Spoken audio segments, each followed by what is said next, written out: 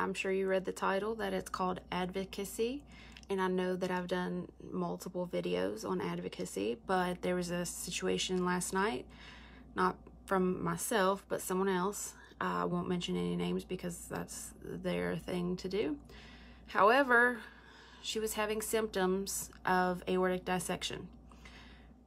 The symptoms started, I'm thinking, about a week ago, got progressively worse.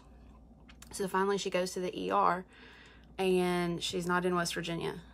Um, surprised because apparently West Virginia isn't the only terrible place. So um, she goes to the ER. They give. She tells them, you know, I have chest pain, back pain, upper abdominal pain. Um, it's kind of hard to breathe, and I have Marfan syndrome. So they do an EKG standard. They do that pretty much for anyone. Um, a urinalysis.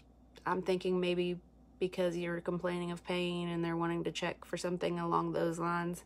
However, they said, oh, I think you may have a UTI. um, then they got blood work, which tests for a lot of things, but one of those being cardiac enzymes, i.e., you're having chest pain. So the only thing that I can possibly think chest pain is correlated with is a heart attack. Okay? Cardiac enzymes come back clean. Okay, well, you haven't had a heart attack in the last like 24 hours, so you're good. You can go home.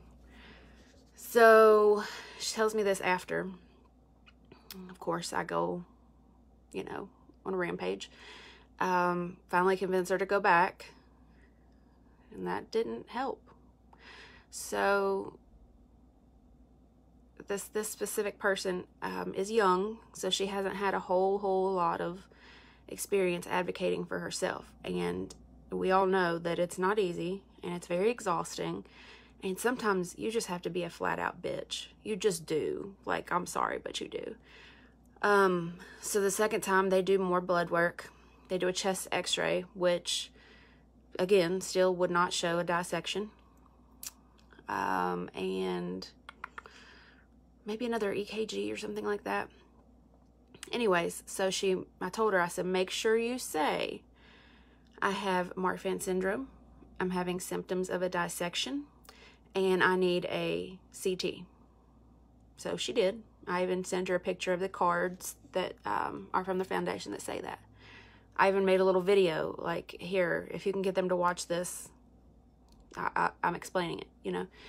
So she tells them all of this, and they said, no, I, don't think you need that. You only need that in really serious situations. And, you know, your heart is clear. There's nothing wrong with your heart because the cardiac enzymes were good. Cool. Yeah, because obviously that's the only thing that can happen with your heart. Um so anyways, it it's I'm hoping that she will go to a different ER today because I mean the symptoms have been going on for quite a while, so you know, it's I shouldn't say it isn't it most likely isn't dissection, but that does not mean that it's not something else, something very serious, or just even heartburn. Because you know what? They didn't even um, rule out heartburn or gallstones or hey, you know, here's a GI cocktail. See if you if you drink this, if um, your symptoms get better. Because we we do know that um, reflux isn't always that burning that you get right here and it comes up in the back of your throat and things like that.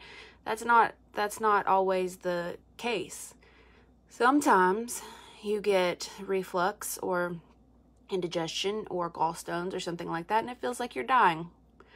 Um, there's a lot of medicines that you can take for that, but if you don't know what it is, you don't know what to take. And if it's that bad, likely Tums don't work. Okay? So it's it's not uncommon to have to go thinking you're dying and you have some type of GI issue, but they didn't rule that out either. Okay? You probably have a UTI.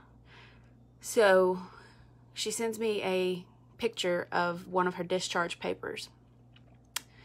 And not only did they not rule it out, but they also have it in the paperwork that it's it could be something more serious and to come back if it gets worse. And she needed to go see her cardiologist and if he determined that she needed more testing, she could get more testing. You can do a CT in a matter of 15 to 20 minutes. And even even aside from like time that's making money for your hospital. Like isn't that what doctors are all about, right? So there's just so many things wrong with this uh, situation. But if if she was actively dissecting these doctors, literally they they are completely uneducated on Marfans, and that is completely evident. Um, they're ignorant on the topic. You know, sometimes that's because they're older, and when they were in medical school, there was about a paragraph in the medical book, and that's all they learned. They're supposed to do continuing education, but with something that rare, a lot of times that doesn't happen. Okay. Uh, I even told her to get the information of the doctors, or at least the the um, hospital, and write them or call them or something. Or I would do it, you know, or contact the foundation and they can send them information. Because honestly, when this situation occurs, and the the doctors are not aware or quite frankly they don't listen they could kill their patients like it's not it wouldn't be the first time that that would happen because they just don't know so yeah it is very very hard to be your own advocate it's very very exhausting i'm actually going through a process right now with my insurance I'll uh, update you once I get some things straightened out. However, it's exhausting. It really is. Like when I was in the hospital with sepsis, I had to be my own advocate. And quite literally, I could have died because they just kept telling me I was fine and I didn't have an infection, even though my blood work came back septic. So, you know, advocacy can be something along the lines of, hey, I need a CT because I think I'm dissecting. Hey, I need you to do this because, hey, I need this appointment because. And the fact that doctors don't listen, that's not something new. I mean, sadly, it's just not. Um, but like I said, sometimes you just have to be a bitch.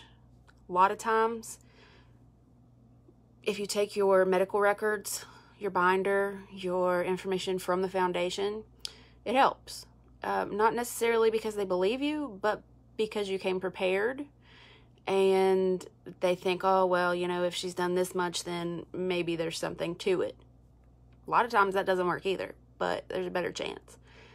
And especially if you've had a history, you know, you've gone X amount of times and they found different things each time. Like one time they find costochondritis. Another time they find gallstones. Um, okay, so if it's not, if you do do a CT and it's not that, then hey, maybe you can check for these two things because they are both extremely painful. And you don't know that I have those either. But it's cool if I go home and you know, just go to my cardiologist when I get a chance. I think in I think her appointment's in May or something like that.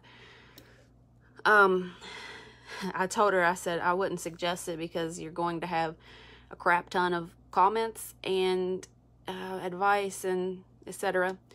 But if you were to post this situation or story on any of the big groups or even this group, to be honest, people would be going wild.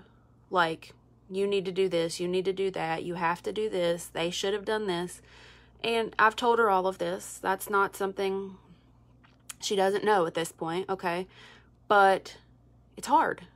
And if you're young, especially, and you've not gotten an opportunity to, let's say, flex your advocacy muscles, if for lack of a better term, it's hard. It is very hard. And the younger you are, the less they listen because, duh, I went to medical school and what are you, like 20? Even 30? I mean, doesn't really matter because it's rare and I have it. So inevitably, I know more about it than you do, especially something that you read a paragraph on. So, you know, you don't have to take my word for it, but you do have to listen Like, that is part of your job. um, so, anyways, if you've gotten anything out of this video, you have to be your own advocate. You have to get your own medical records. You have to tell them what you need. You have to tell them what you're feeling. I mean, you just do. It's sad that you have to do that much work to get appropriate care. But it's, you know, it's the sad truth. So if you need any help learning how to be your own advocate, please let me know. Um, I don't know everything, obviously, but I have been in several situations in which I had to be my own advocate and I had to learn on the fly, or I had to, like I said, be a bitch, or I had to bring in things, or I've been in several situations. Okay, so I do have many different um, suggestions. I can help you build a binder, you know, whatever you need. My point is, I try to use my experiences to help you. I don't get on here to complain and gripe and poor, pitiful me. I get on here because I've been through it. So let me make yours a little bit easier because I can. Okay? So if you have any comments, questions, leave them below in the comments. Um, and yeah, just be thinking of this person because the struggle is not over yet. Um, hopefully, it's not anything, you know, dire, but it's not over yet. So, thanks for listening, and I'll talk to you guys later.